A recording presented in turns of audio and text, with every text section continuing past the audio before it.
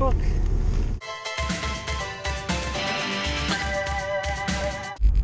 This is day one of no caffeine. And I think my predictions were wrong because I don't have a headache or anything.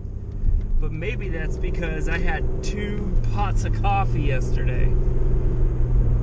Like one for yesterday and one for today. But it's um, 3:13 p.m. and there's no signs of headache. There are signs of lack of motivation. It really took everything that I could muster to get me to go because I want to go to Menards and see if they have the decorations I want on sale since it's after Christmas. And I have to go I have to go Costco to get butt wipes the baby. So that's why but the pain there's no pain. There's no nothing. I'm fine. I feel fine. If every day now can be like as good as this day, I'll be one happy camper because I feel great. Minus the lack of motivation that I feel.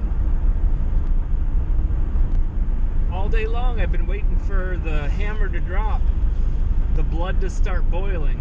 Hasn't happened yet. I went to this Menards and I went to that Costco. Gosh, everything is like green lights for me. I don't have a headache.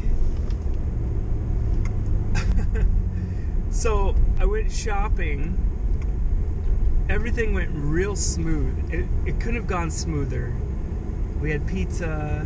We gave Taya some pizza. When I got out with my cart, there was another lady with a baby, so I took her cart, which is a nice thing for me to do, right? Then I I had to bring it to the, the thing, and but there was a guy coming to get carts right at that moment, and so I gave him both of our carts, almost like God opened the doors for everything to be smooth.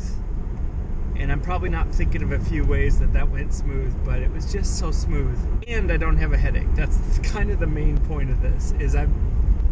It's 4:30 right now. I don't have a headache. Everything's fine. I haven't had coffee all day.